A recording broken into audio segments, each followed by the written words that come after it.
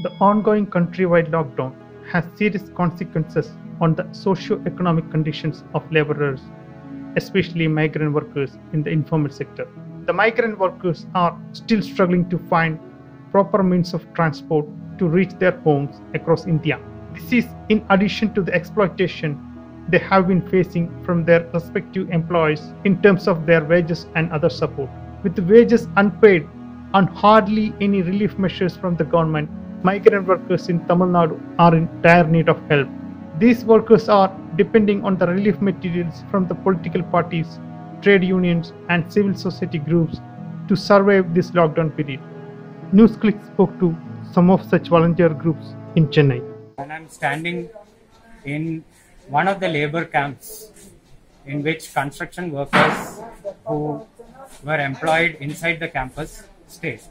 This small room that you can see, uh, 15 people live here. Uh, during the course of our relief work in Chennai during the lockdown, we were alert, alerted to the plight of 550 migrant laborers employed by the contractor DEC Infra, uh, who had not been paid wages for the work they had done since first week of March. From the first week of May, the contractor began threatening them that they would not be paid their pending wages and the food that they were given during the lockdown unless they get back to work. The contractor also hoarded rice, dal, and oil that the Tamil Nadu government had given them to be distributed to these workers, thus treating them like bonded laborers. Despite our efforts talking to both representatives of DEC and IIT Madras, the issue has not been resolved till now. There are more ongoing construction projects inside IIT. We demand that IIT make public the details of pending wo- wages owed to the workers in all these projects and compensate for the workers, compensate the workers for the injustice done to them by DEC. The response from the workers shows that they are in distress. Company जो हम लोग को बोला था जो बैठने के चालीस दिन जो बैठे हम लोग चालीस दिन का पैसा देने वाला एक एक हाजिरी देने का बात हुआ था तो हम लोग को अभी तक एक रुपया नहीं दिया। और जो लॉकडाउन से पहले हम लोग दो हफ़्ता काम किए थे तो उसका तो पेमेंट हॉल कर दिया है, अभी उसका पेमेंट भी नहीं दिया है। और हम लोग को खाने पीने का बंदोबस्त भी बराबर नहीं नहीं दिया है। और जितना दिन हम लोग बैठ बैठ के खाए हैं, दो महीने तक, दो महीने का पूरा पैसा हम लोग के पास, और हमारा ठेकेदार के पास से कट कर रहा है। और हम लोग जो जाने के लिए बंदोबस्त कंपनी से रिक्वेस्ट किए थे तो कंपनी ने जो झारखंड और बिहार और यूपी का लोग को भेज दिया है।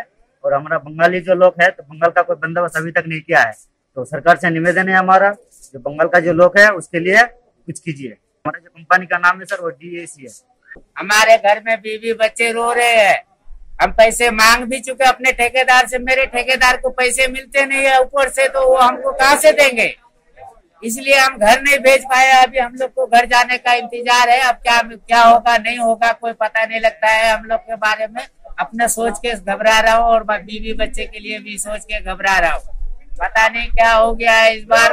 ये मोदी सरकार ने हम लोग को लॉकडाउन में फंसा करके हम लोग को मार दिया। अभी ऐसे ट्रेन व्रेन बंद कर दिया। हम लोग घर जाने का भी कोई साधन नहीं है।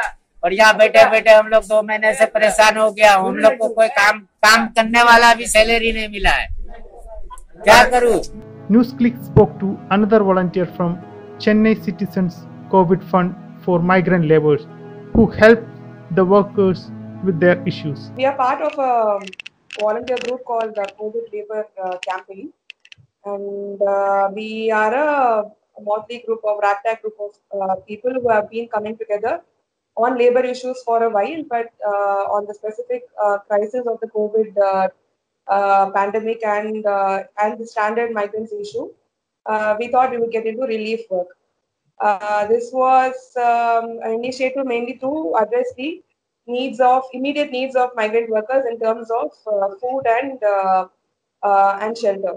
Uh, so we started raising funds to address the needs, and as we went forward, we realized that migrant workers were completely being neglected by the state in so many ways, and um, especially especially where uh, the government began putting forward schemes such as uh, delivery 15 kgs rice or one kg dal and all these ration kits to migrant workers.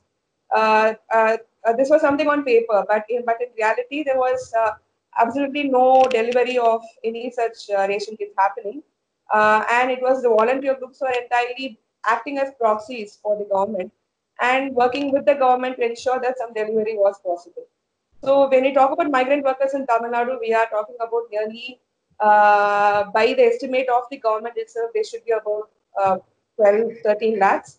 Uh, and from the estimate of other unions and uh, uh, voluntary organizations who have been working with migrant workers, the estimate should be close to maybe 15 lakhs. The government of Tamil Nadu had permitted construction workers to resume in the third phase of the lockdown. Since the workers were not paid the wages for April, they held protest. And right now, with the lifting of the lockdown, with resumption of economic activity, the line that the government is taking that um, uh, if you go back to work, then uh, you your, your wages will be given, and uh, the, wa- the pending wages for the work already done would also be given uh, only if you go back to work. And uh, there is no necessity for the government to be taking care of you anymore because uh, you are supposed to work and get your wages now. And, and uh, your essential supplies with, with those wages. So, but that's not happening at all. Like, uh, even if workers consent to go to work, their wages are not getting released immediately. And these are uh, mostly small and medium scale industries which are talking about. So they they have all sorts of excuses about lack of working capital, lack of uh, production, lack of sales, lack of export. So all these are uh, you know uh, used to simply uh, make migrant workers and workers' life in general more miserable than it already was. And the state government seems to be playing along with it. At the end of the day, I think the priorities which are being shown here, for example, at the same time that uh, migrant workers, Shramik trains were supposed to be run, uh, there was a parallel announcement to bring back expatriates from uh, India, from who are living abroad, back to India. And the Tamil Nadu government itself has right now, I think, brought back quite a substantial amount of uh, more than 25,000 expatriates have been brought back to Tamil Nadu. And uh, this was done with such uh, efficiency, with such um, uh, meticulous planning, and and they are kept in quarantine. They are taken care of to uh, to a certain extent better than uh, anybody here. Any any migrant worker here has been taken care of.